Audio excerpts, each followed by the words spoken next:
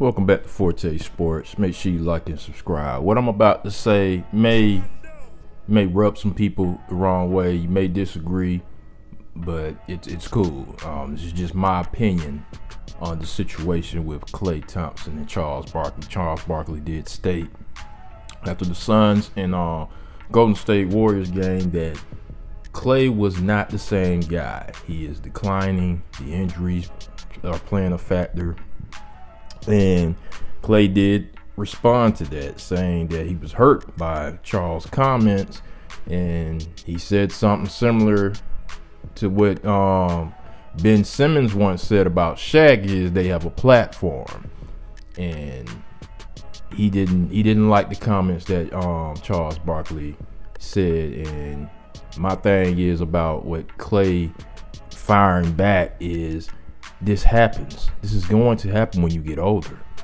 And yes, you coming back from two significant injuries, and you're in, you're 32. You'll be 33 in February. This happens. It's not. He didn't say anything egregious. He knows that you're a Hall of Fame player. These guys have got, and I'm very surprised this from Klay. He's a champion. He's a championship player, a future Hall of Famer, and he is not like he attacked your game.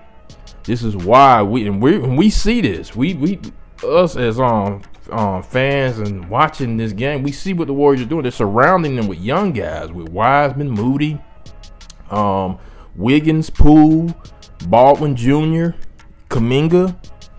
I do agree with what Charles was saying that this is why they surrounded them with young guys because they are getting older. It happens. It's nothing to get offended about. Even Kobe when he tore his his Achilles, he was not the same guy. He was older. And yes, you are getting up there. And it's no it's no it's, you can't get angry about that. And you, you what he was stating, I'm like, yeah, you'll probably come a little bit closer to what you were, but you will never be the same guy. You know, there's nothing to say that he's not an elite, but still, he, he still is an elite defender. He still can shoot that rock.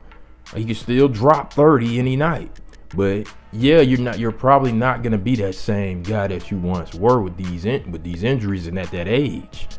You know, it, it takes me back to that time when um a couple years ago when Shannon Sharpe and Cris Carter once was talking about Adrian Peterson and they were saying Adrian Peterson's not that same guy. You know, he's older now and he's, he's got a lot of miles on him. And Adrian Peterson took offense to that.